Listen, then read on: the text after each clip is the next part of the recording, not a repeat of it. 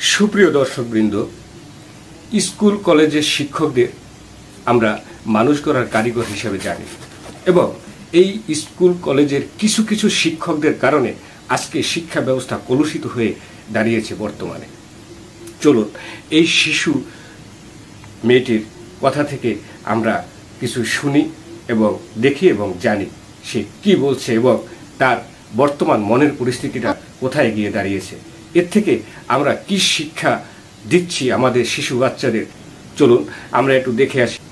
আমার নাম সূচনা দাস নীতি আমি মর্গান গার্লস স্কুল অ্যান্ড কলেজের মানবিক বিভাগের দশম শ্রেণির ছাত্রী। আমার রোল নাম্বার তিন।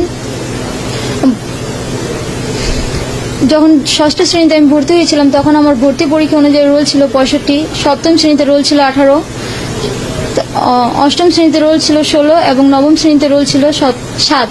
আবার দশম শ্রেণীতে উত্তীর্ণ হওয়ার পর রোল হয়েছে তিন। এখন বিভিন্ন কারণে, বিভিন্ন বিষয়ের কারণে আমার কি স্কুল থেকে বিশেষ ক্লাসের বেতনের জন্য ফোর্স করা হয়। আমি নিয়মিত স্কুলের বেতন দিয়েছি স্কুল পরীক্ষার ফিসও দিয়েছি বাট পরীক্ষার মাঝখানে আমাকে বলতেছে যে, প্রথম দিকে বলা হয়েছিল যে, তুমি বিশেষ ক্লাসের বেতন যদি না দাও, তাহলে তোমাকে যদি তুমি বিশেষ ক্লাসের বেতন না দাও, তাহলে তোমাকে পরীক্ষা দেওয়া হবে না। তো এইভাবে করে প্রথম সাময়িক পরীক্ষা দিয়েছি, দ্বিতীয় সাময়িক পরীক্ষা দিয়েছি, তৃতীয় সাময়িক পরীক্ষা পর্যন্ত কোনো সমস্যা হয়নি। টেস্ট পরীক্ষা দিতে গিয়ে আমাকে বলতেছে যে, তুমি যদি বিশেষ ক্লাসের বেতন না দাও ছয় হাজার টাকা, তাহলে তোমাকে পরীক্ষা দেওয়া হবে না। টেস্ট দুই হাজার তেইশ সালে পরীক্ষা দিতে পারব না টেস্ট পরীক্ষা তুমি দিতে অ্যালাউ করতে পারব না। কি করছি? তিন দিন পরীক্ষা দেওয়ার পর আর ভয়ে ম্যাডামের সাথে দেখা করিনি আমি রেগুলার পরীক্ষা দিয়ে গিয়েছি।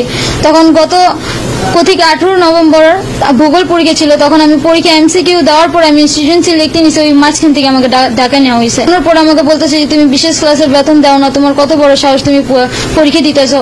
তখন আমি ম্যাডামকে বলছি যে ম্যাডাম আমি যতটুকু জানি স্কুলের বেতন দেওয়ার পর আর যদি পরীক্ষার ফিস নিয়মিত দিয়ে যাই, তাহলে তো এইটা নিয়ে বিশেষ ক্লাসের বেতন নিয়ে কেমন কোনোভাবেই করা যায় না। ম্যাডামকে আমি অনেকবার অনুরোধ করছি যে, ম্যাডাম প্লিজ আপনি আমাকে পরীক্ষাটা থেকে ই করেন না।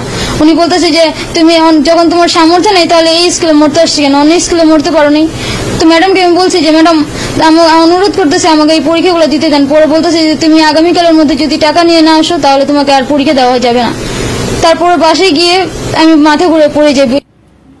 দর্শকবৃন্দ, দেখলেন, ভিডিওটি যদি ভালো লাগে তাহলে লাইক করবেন শেয়ার করবেন এবং নিত্য নতুন কিছু জানার জন্য, শেখার জন্য এবং দেখার জন্য আমাদের চ্যানেলটি সাবস্ক্রাইব করে আমাদের পাশেই থাকবেন। দেখা হবে আবার নতুন কোনো ভিডিওতে। ততক্ষণ আপনারা সবাই সুখে থাকুন, ভালো থাকুন, সুস্থ থাকুন। ধন্যবাদ সকলকে।